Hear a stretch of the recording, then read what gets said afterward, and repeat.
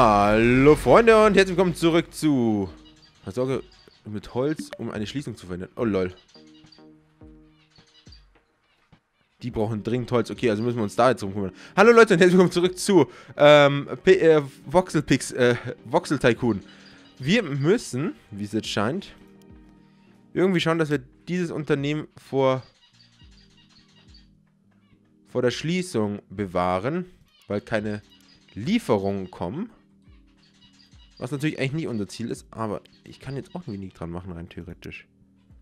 Kohlemine, Verarbeitung. Wir haben auch nichts erforscht, was wir sozusagen das selber machen können. Wir können höchstens mit 88.000 dann ein eigenes Labor auch erforschen. Was aber eher die bräuchten, wäre das Holz von da hinten. Bedeutet, wir müssten hier einen Güterbahnhof hinzimmern. Und die sind teuer.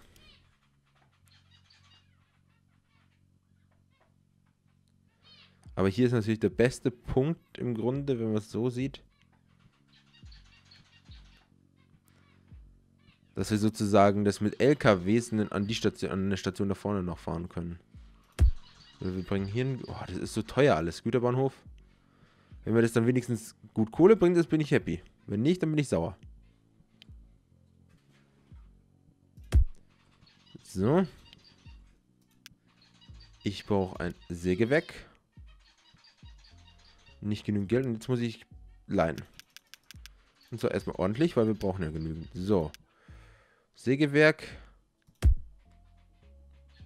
Ich glaube, da passen sogar zwei hin. Nehmen wir mal erstmal eins.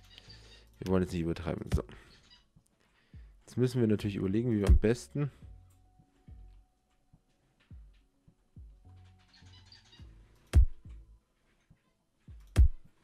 So.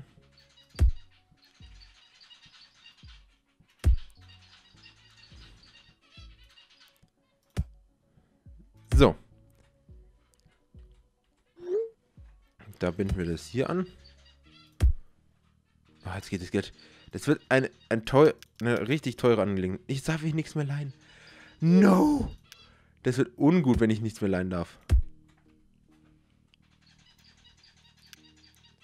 Weil ich brauche jetzt noch mindestens, jetzt müssen wir halt Billigzug nehmen. Und dann Rundwagen 2. Und ich kann es mir nicht. Shit!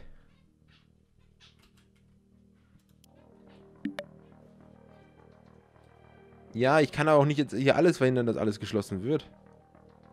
Ich brauche Geld erstmal, damit ich den Zug kaufen kann. Das wäre jetzt schon mal ein Anfang. Ich würde gern verhindern, dass wir hier irgendwie eine Schließung haben, aber wenn wir keine... Wenn wir kein Geld reinkriegen, können wir das nicht machen.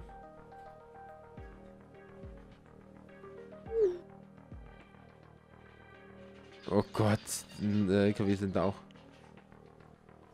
Komm schon, ein bisschen Geld irgendwie. Komm schon, bitte. Ich will nur ein bisschen Geld.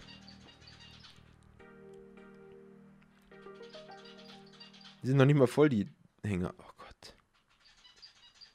Ich habe immer gehofft, dass da mehr passiert, aber das ist nicht so. Braucht ihr eine kleinere... Ach ja, Konfigurator beenden. Irgendwie müssen wir schauen. Ich darf jetzt irgendwie kein Geld mehr leihen. Aktuell kriegt maximal... Oh Gott, das will ja, wir haben maximal erreicht. Eieiei. Da wäre nicht auch eine Holzlieferung. Da könnte man auch Holz hinbringen. Weil wir könnten das hier sogar doppelgleisig ziehen und dann hier noch ein Holz. Das Holz, da wäre der wichtigste Angelpunkt für uns. Jetzt machen wir nur noch 3000 mit Personen. Was ist denn jetzt los? Also es steht zwar plus 12.000, aber... Warum? Was ist passiert?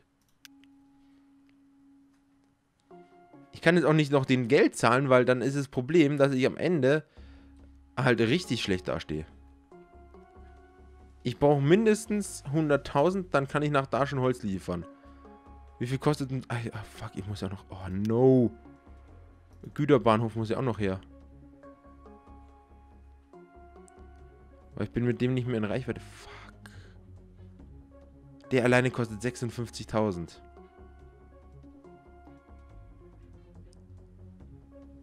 Shit. Oh Gott, Sven. Und jetzt geht's wieder ins Minus.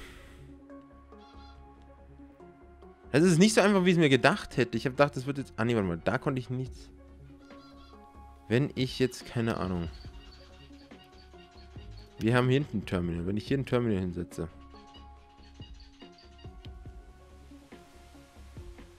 Kostet das 32.000. Muss ich kaufen. Ich habe sonst keine Chance. Jetzt wird richtig beschissen, wie es gebaut ist und alles. Aber hey. Ich habe im Grunde keine andere Chance. Ich muss irgendwie von da nach da das Holz kriegen.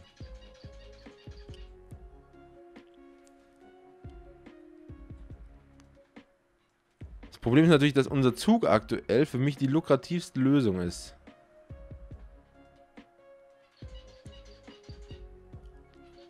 Mit seinem bisschen was hier.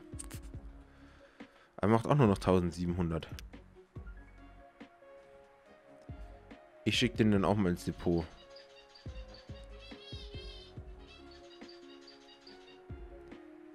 Du gehst auch gleich mal ins Depot. Okay. Pausieren das Spiel schnell. Ich habe gesagt pausieren. Wir machen jetzt was, was ich nicht gedacht hätte, dass wir machen müssen. Äh, ich hasse es.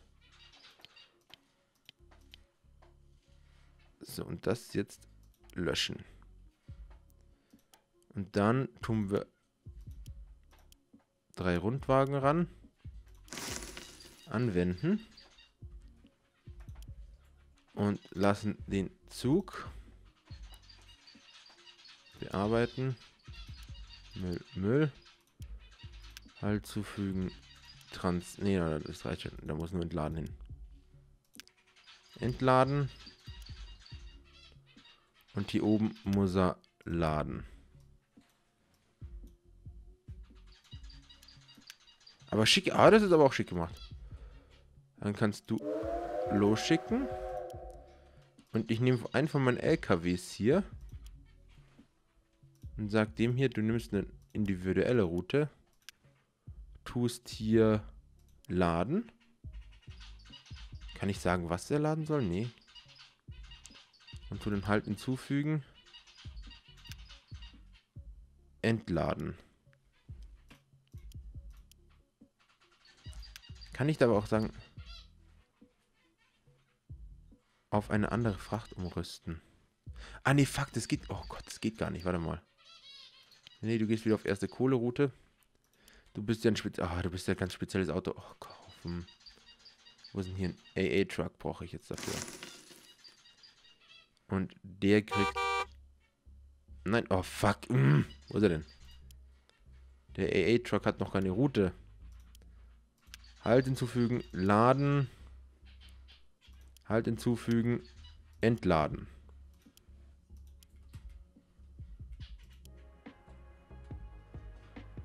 So. Jetzt sollte das Ganze doch funktionieren eigentlich, oder?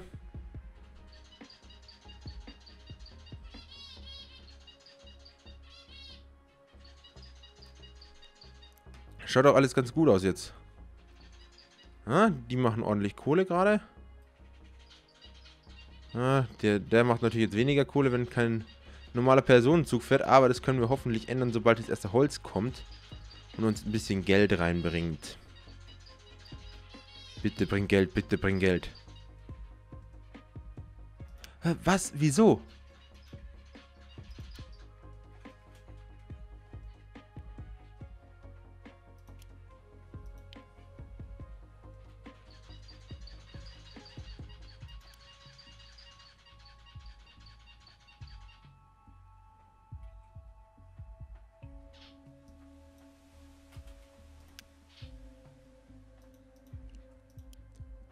Logistik. Von diesem Gebäude annehmen. Davon dann... So. Brauche ich ein Depot oder brauche ich so ein Lager? Lagerhaus setze ich nochmal hier hin. Holz. Schau mal. Bitte, bitte, bitte, komm schon. Kann jetzt nicht sein, dass mein LKW, mein Holz-LKW kein Holz annehmen kann. Jetzt wird's abgeladen. Jetzt hat.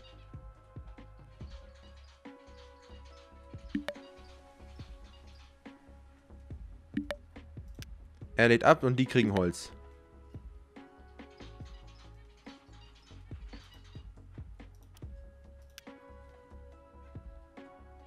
Wir kriegen wieder Holz. Yes.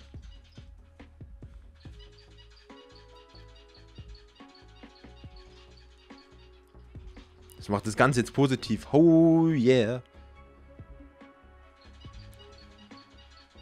Kriegst du hier denn Geld? Nee, du musst abladen und der muss es an... Oh. Okay. Bedeutet, wir müssen die LKWs... Oh, fuck, jetzt erkennen. Mein Geld geht runter wie sonst noch was. Das ist ganz ungut. Oh, fuck. Ich glaube, ich hab's verkackt. Ich glaube, ich habe sowas von verkackt. Ich glaube, ich habe echt sowas von verkackt schon. Lol. Jetzt haben sich hier Holzträger aufgemacht.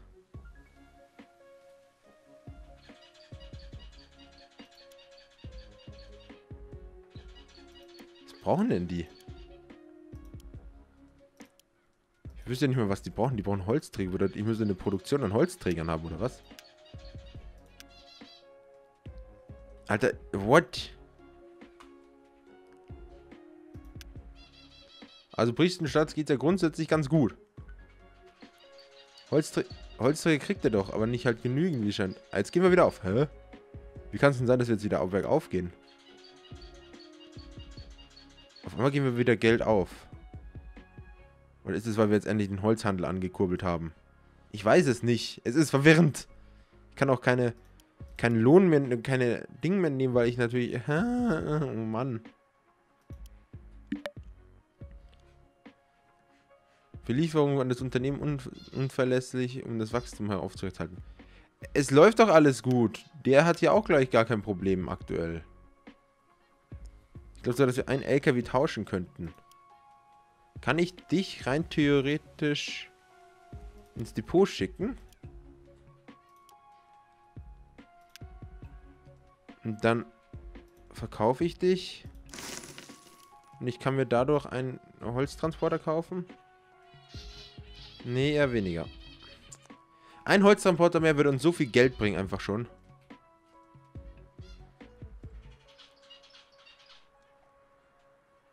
Ah, fuck. Fuck, jetzt geht's wieder runter. Komm, geh bergauf. Ich hab...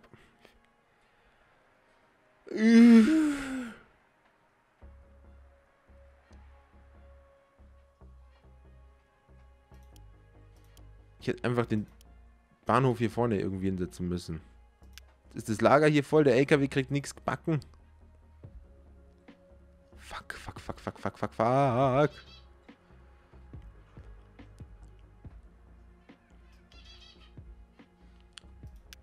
Kann man die Firmen aufkaufen? Geht das irgendwie, dass man sagt, hey, ab sofort bist du meins? Ich steuere Produktion und alles? Das wäre natürlich noch geiler. Mmh. Ich glaube, ich habe mich übernommen am Anfang. Ich glaube, das muss man ruhiger angehen, das Game. Ich glaube, das muss man ruhiger angehen. Ich wollte wieder zu groß bauen. Also ich bin, keine Ahnung, beim Train Fever baue ich am Anfang ein bisschen mehr. Ich habe mehr Routen und alles und das Geld fließt auch besser.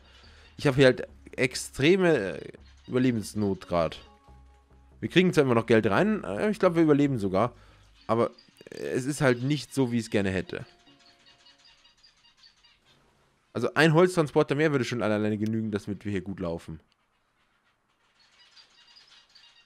Das würde ja schon voll reichen. Der hat nichts im Lager. Und daher tut er natürlich auch nicht gleich evolven aktuell. Die Fabrik ist kurz davor zu evolven, wieder in die nächste Stufe. Und mit dem Lager natürlich kommen wir jetzt, kommen wir ein bisschen wenigstens voran. Aber wie viel brauchen wir, ich vergesse jedes Mal, wie viel kostet so ein scheiß LKW? Pff, 38, oh, okay. Ja, ähm, das kann ein bisschen dauern. Aber wir halten uns stabil, das ist schon mal positiv. Wenn wir dann wieder die Passagierzüge knacken können, wäre das natürlich noch besser. Weil mit den Passagierzügen... Oh nee, jetzt... What the... Kreditzinsen. Aua, Mann! Das tat weh, das tat weh.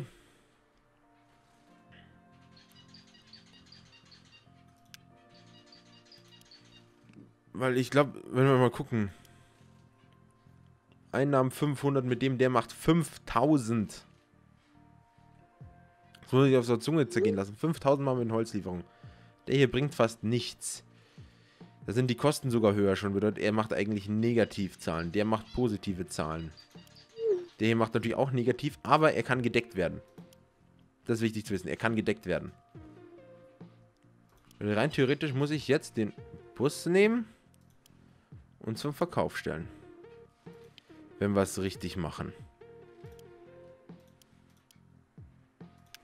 Und sagen jetzt hier Adieu. Bringt uns nicht genug, um noch so einen AA-Truck zu kaufen. Den wir... Aber mal können wir die Route bitte kurz mal vom Holz... LKW, wo ist er denn? Deine Route Nein, ich will die Route hier gerne. Und speichern als Holz äh, Pirchenstadt. Holz oder Holz 1. Nie, 1. Okay, so. Weil dann kann ich jetzt dem hier sagen, hey, du nutzt ab sofort Holz 1. Let's go. Und dadurch habe ich natürlich jetzt, jetzt mehr positives Geld, hoffe ich mal. Einen positiven Holz-LKW mehr, das macht schon mal viel aus.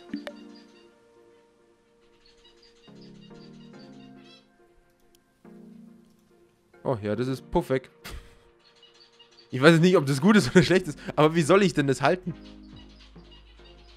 Ich bin jetzt schon am Rande der Verzweiflung. Ich habe noch nicht 3000 Firmen angenommen. Also wird wahrscheinlich ein Submergent, sobald man sich mehr um die Stadt wieder kümmert. Kann es sein? Dass die Städte evolven und wieder untergehen, je nachdem, was man macht. Das wäre natürlich mega cool. Aber aktuell, die sind durchschnittlich. Die sind jetzt immer mehr zufrieden. Dadurch, dass der Stand natürlich immer erhöht wird. Jetzt sagt er schlecht. Unser Geld steigt wenigstens wieder. Ich habe hier Kosten und Mühen angenommen, ey, dafür, dass es funktioniert.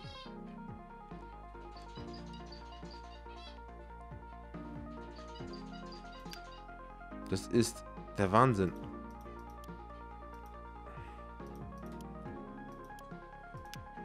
Der macht jetzt beides, aber weil du ein Lager, wenn man ein Lager dazu steht, geht das sozusagen. Aha. Gut zu wissen, gut zu wissen. Ihm geht es durchschnittlich, wie gesagt, schon immer. Da wird noch ein LKW auf jeden Fall mehr rein können, weil wir kommen immer noch nicht hin, dass wir die volle Ladung annehmen. Also wir brauchen mindestens noch ein LKW mehr auf der Route. Aber das Geld entwickelt sich wieder. Das ist positiv zu sehen. Wir machen aktuell, der Handel macht 31.000, hat im letzten Monat ausgemacht. Wir haben trotzdem Minus von 3.000 gemacht. Aber ah, wegen neuen Fahrzeugen, das hat uns, das, das neue Fahrzeug hat uns reingeritten. Wir hatten plus 10.000 gemacht insgesamt. So wie es da aktuell ausschaut. Unternehmen. Ja, ich kann auch nicht die ganze Zeit mich um neue Firmen kümmern. Ihr seid selber schuld, wenn ihr baut, wenn ihr wisst, da kommt nichts.